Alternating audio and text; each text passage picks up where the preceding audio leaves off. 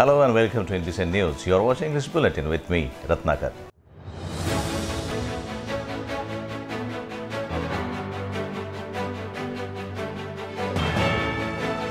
The news in detail. Sunday was the foundation day of Yoga Dharmendra. During this program, people from other countries including Germany, Japan, Europe and China were too participated. Basically, Yoga Dharmendra is a multi-purpose charitable society which work for the education and advancement of children. It was established in the year 2010 by Dr. Tanu Verma. Yoga Dharmendra offers a lot of activities for underprivileged children. Various cultural activities, many motivational speeches are part of this curriculum. Yoga practice under the supervision of professional instructor is followed by meditation, chanting of mantras, art, classical dance, physical training as well as self-defense techniques are imparted by the organization. In the year 2010, Yoga Dharmendra was established by Dr. Tanu Sunday was its foundation day, as part of which various programs were conducted. Dr. Tanu Verma shared in detail information about the various education and social initiatives undertaken by the organization.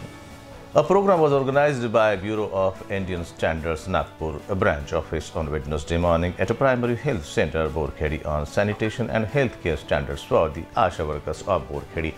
Around 40 members attended the program. SPO Isha Kurana gave a deep insight on Bureau of Indian Standards she further briefed about the various formulations, product certification scheme, compulsory registration scheme, foreign manufacturer certification scheme, hallmarking scheme, laboratory service, laboratory recognition schemes, consumer affair activities, promotional activities, training services, national and international level information services. She also shared details about various healthcare standards used in medical field. Very well explained the scope of standardization in the field of medical equipment and hospital planning department she covered the topic of standard formulation in MHD with overview of divisional council, selection committee, subcommittee and panels. Sonam Tiwari, who hails from Nagpur, was recently crowned with Mrs. India Universe exclusively and extraordinary this season. Two believes in making society to be a better place for women. The winner of Mrs. India Universe exclusive and extraordinary season 2 was addressing the media at press conference organized at Press Club Nagpur on Wednesday. Explaining about her initiative, Sonam said, in association with Kala Bharti Foundation, I have pledged to help the skilled and but less fortunate for underprivileged women. Sonam is the brand ambassador of Kala Bharti Foundation that promotes the writing, singing and other art forms that can be developed with little training. Also, the foundation makes available the platform to publish the artworks. Literature, arts, culture and art of living life are basics areas that are taken care by this foundation as strugglers are guided to excel in their respective fields.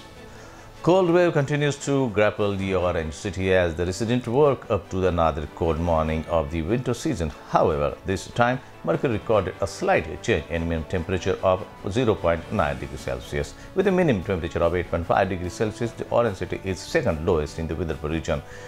The Regional Meteorological Center said the minimum temperature here will remain around the same for the next three days and there is a possibility of the mercury rising after December 23rd. Besides Nagpur, various other places in Vidarbha region continues to record cold wave and drop in temperature. On Wednesday, Gadchiroli continues to record lowest temperature in Vidarbha region of 8.4 degrees Celsius. Amravati 8.9 degrees Celsius, Gondia 9 degrees Celsius, Wardha 9.4 degrees Celsius, Yavatmal 10 degrees Celsius, Brahmapuri and Chandrapur simultaneous 10.02 degrees Celsius each, Akola 11.3 degrees Celsius, Buldhana 11.6 degrees Celsius and Washim 12.5 degrees Celsius. A five-year-old boy knocked dead after a rash-driven private bus commuting between the Umred-Nagpur route hit him near Srimati Radhikatai Pandav College of Engineering here on Wednesday.